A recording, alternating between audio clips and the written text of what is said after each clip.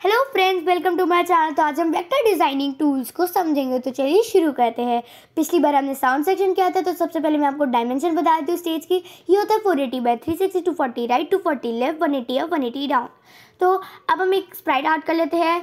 Costume add करने के लिए आप सिंपली पेंट पे क्लिक कर दीजिए। तो एक कॉस्ट्यूम ऐड हो जाएगी। कॉस्ट्यूम का नाम चेंज कर देते हैं। सपोज़ मैं इसको वन कर देती हूँ। तो यह है हमारा कैनवास कैनवास को जूम करने के लिए प्लस साइन पे क्लिक कर देंगे और कैनवास में एक स्क्वायर फोर बाय फोर का होता है। अब इसको जूम आउट करने के लिए माइनस पे क्लिक कर देंगे और नॉर्मल करने के लिए इज़ इक्वल टू पे। ठीक है? ये है कुछ डिज़ाइनिंग टूल्स ये है सेलेक्टर ये है रीशेप और ये है ब्रश ब्रश टूल से आप कुछ भी ड्रॉ कर सकते हैं। ब्रश टूल का विथ भी चेंज कर सकते हैं। सपोज़ मैंने विथ रख दी एटीन और देखे। ठीक है? अब हम इरेज टूल पे आते हैं। इरेजर टूल से ये इरेज हो जाएगा।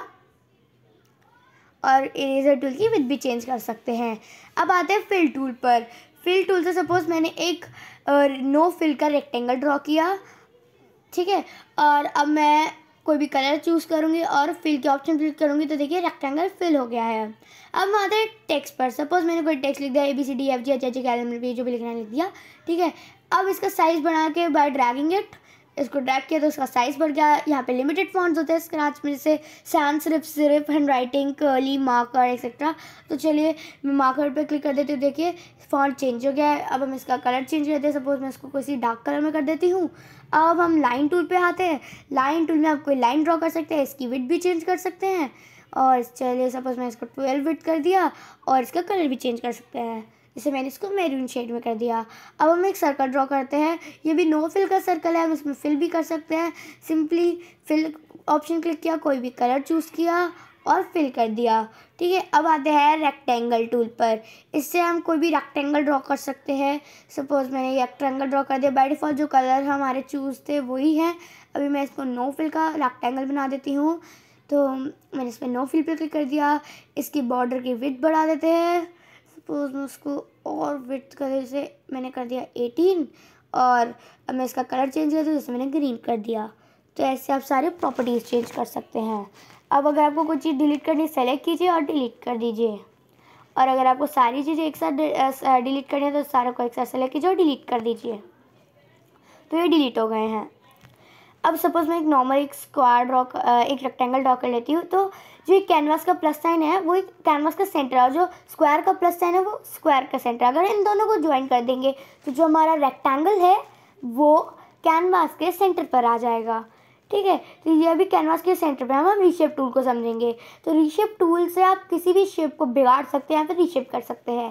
तो जैसे मैंने इधर क्लिक किया तो यहाँ पे एक डॉट बन गई है। अब इधर से आप अपनी शेप को रीशेप कर सकते हैं। जैसे मैंने इसको ऊपर की तरफ़ ड्रैग किया और ये भी बाई डिफ़ॉल्ट कर्व्ड है। मैं इसको पॉइंटेड कर देती हूँ तो देखिए पॉइंटेड हो गया है।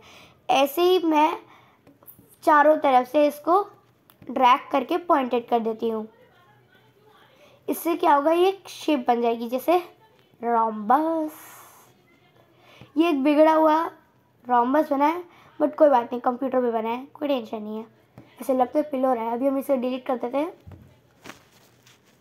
मैं इसको डिलीट कर देती हूँ। ओके ना फिल ऑप्शन में भी बहुत सारे ऑप्शंस होते हैं तो ग्रेडियंट के ऑप्शंस होते हैं मोस्टली मैं आपको वो समझाती हूँ तो मैंने इसको रेक्टेंगल ड्रॉ कर लिया है। यहाँ पे देखिए चार ग्रेडियंट के ऑप्शन हैं।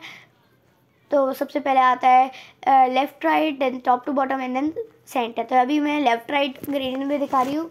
इसमें आप कलर भी चेंज कर सकते जैसे मैंने फ़र्स्ट वाले कलर को थोड़ा डार्क कर देते हैं देन सेकेंड वाले कलर को और डार्क कर देते हैं। ठीक है? मतलब ऐसे रख दिए, ठीक है? और अगर आप कलर स्वाप करना चाहते हैं दोनों कलर तो सिंपली स्वाप पे क्लिक कर देंगे तो इनका कलर स्वाप हो जाएगा, देखिए, ये स्वाप हो गया। ऐसे ही टॉप टू बॉटम वाले में इनका भी कलर चेंज कर सकते हैं, इनको स्वाप कर सकते हैं। देखिए, यहाँ पे मैंने स्वाप पे क्लिक किया, ये स्वाप हो गए। ऐसे ही सेंटर वाले में इनको भी कलर चेंज करके स्वाप कर सकते हैं। तो कुछ ऐसा लुक देगा। अभी मैं इसको डिलीट कर देती हूँ। तो अब जैसे मैंने एक स्प्राइट आर्ट किया है, जैसे मैंने ये स्प्राइट आर्ट की, ठीक है? तो अब मैं आपको बताती हूँ फ्लिप हॉरिजॉन्टल और फ्लिप वर्टिकल कैसे करना है, ठीक है? तो देखिए फ्लिप हॉरिजॉन्टल पे अगर हम क्लिक करेंगे तो ये हॉरिजॉन्टली फ्लिप होगा, देखिए।